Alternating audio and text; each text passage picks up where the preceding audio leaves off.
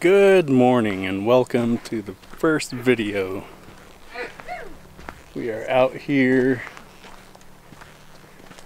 working away. I have some of the managers over here taking a doing their little daily mornings. Going over here to check out our water truck drivers. Make sure they're doing okay. They are doing their morning checks. My name is Donovan and I work for Dig Deep, which is a non-profit organization based in California, but we are here in Shonto, Arizona. And we work on putting in home water systems for off-grid homes. And I am doing these little short videos, hopefully to get give homeowners a better idea of how to do a water system for their off-grid homes. So hopefully it gives you a little bit of an idea how to do it. This is kind of like a DIY, a do-it-yourself, but as you can see here, we got some of the guys checking it out. Got a little bit of battery issue right now. But they're going to be heading out to do some water hauls out to Navajo Mountain, Shonto, and a place called Paiute Mesa. Right here we've got our really, really cool looking water truck. This thing's a 6x6. You have nice two wheels right here and the front wheel drive. The only thing that I don't like about this thing is it's really, really rough driving. So if you're on a really rough road, it just bounces everywhere. There's like no suspension in the back, so it's not the best. Front has a little bit of a spring dampener, but that's about it. But it's the only one that can get from point A to point B with little to no hiccup.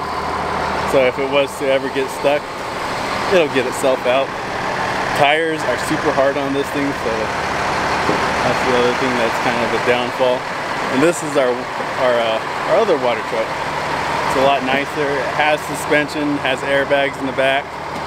The driver has a lot more things to offer on there. You got radio.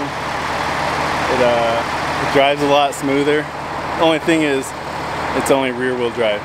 So front wheel drive, not the best uh, gets stuck in sand so all the deep sand it just just gets buried and gets stuck in there.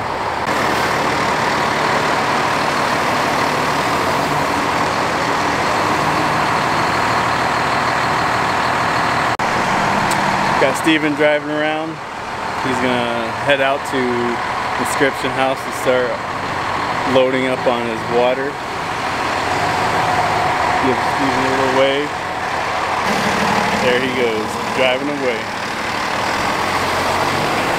Got Howard right here walking away. He's getting ready to jump in on the big yellow water truck. He's supporting our cool Navajo Water Project shirt.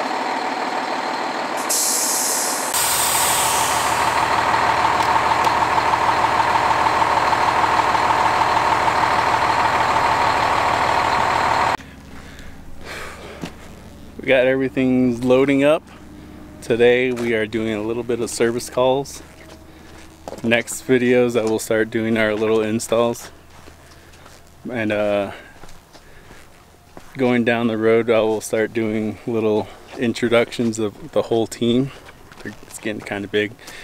But right now we have our project manager and our assistant inside of the office working.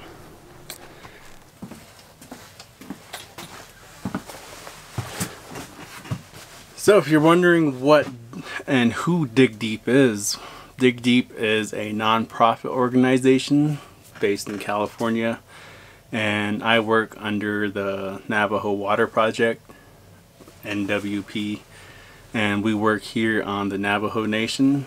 Our team is Navajo Mountain Team. We have another one in Dilkon, Arizona. They are the Dilkon team. And then the original OG ones is in Thoreau, New Mexico. That's our Thoreau team.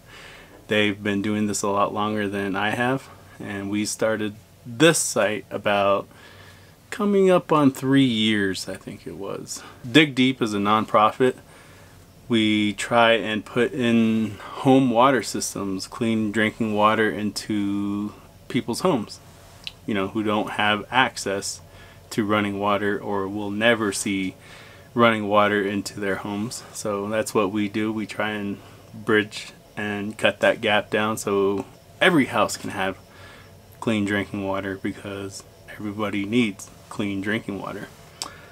So with the purpose of these videos and this little channel, the site on YouTube, I am hoping that I can give an idea for certain people around Navajo Nation who might know their aunts, their grandpas, their grandmas, maybe their brothers or sisters that live off grid and there's no chance that they're going to get a water line to their house.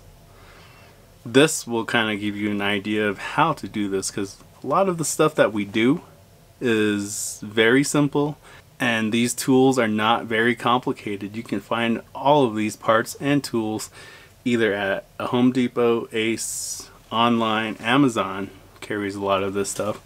So it'll be like kind of like a DIY. I will cut them all into like little bits so it's not like one huge video is going to be nothing but install at a house. I'll cut them all down. Stuff from prepping cistern tanks, which are 1200 gallons, uh, plumbing it into the house, and then another video that's going to be separate for installing inside of a house. We will do two different types of sets on those. One where it's going to be mounted on the wall very visible very easy to access if there's a problem you can swap out those pumps or parts as quickly and as cleanly as possible the other one is one that's going to be mounted inside of our sink which our Thoreau team designed and made that which I actually really like because you can you can still access a lot of these parts it's very compact but it's very mapped nicely and it's clean. So there will be like two different bits on those. It's not just all going to be on one video and confuse a lot of people. And then another one will be how to set up solar panels, connecting it to your controller, connecting it straight to your battery, and then having it go all bits and pieces so it's not going to be overwhelming. Hopefully it's not overwhelming, but that's what this channel will be doing. Uh, there will be uh, some, some other ones on the down the road where I'll do a little bit of story time. Uh, the story times that will be mostly for like things that we've done in the past. Uh, COVID times, what kind of work we were doing during COVID times since we weren't able to go inside the house.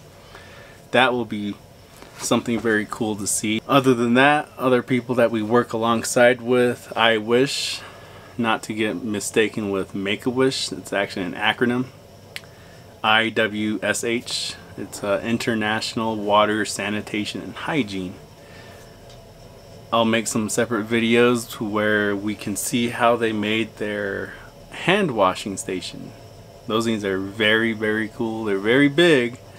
They're out of the sun and they're designed to have people wash their hands do separate videos like that. And also during those COVID times we did things called the 275 tanks that Thoreau actually figured out too. So a lot of these things Thoreau made and then we just incorporated with us.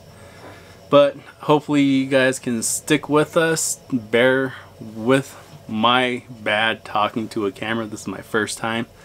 I'm normally the guy that's filming the stuff, not really wanting to talk on the camera. As we were just saying a while ago, this truck gets stuck all the time.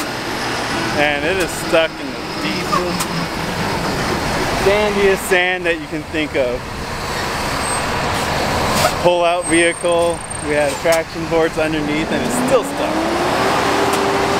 But it's getting yanked out little by little. As obvious, everybody's staying their distance. Just watching the, the madness happen. Uh, Steven's little blooper reel to end this video. Now, I will catch you in the next one.